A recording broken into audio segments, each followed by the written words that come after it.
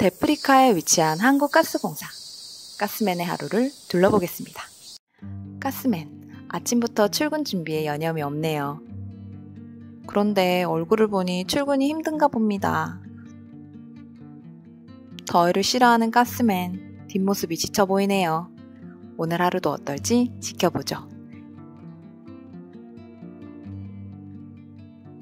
가스맨 똥금 버스를 기다리다 말고 마네킹을 쳐다보고 있네요.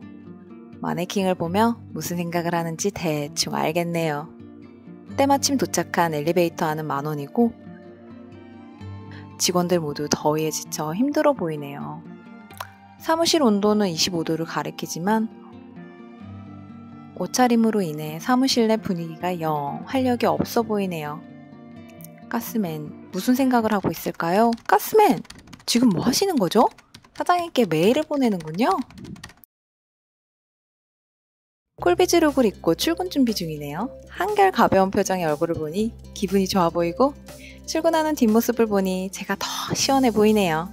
오늘도 힘찬 하루 보내세요. 가스맨! 어느덧 도착한 회사 엘리베이터 안. 모두들 기분이 좋은지 화기애애한 모습이 보이네요. 가스맨 덕분에 직원들 업무 효율 올라가고 사무실 적정 온도 26도로 에너지 절감하고 가스맨 수고하셨어요.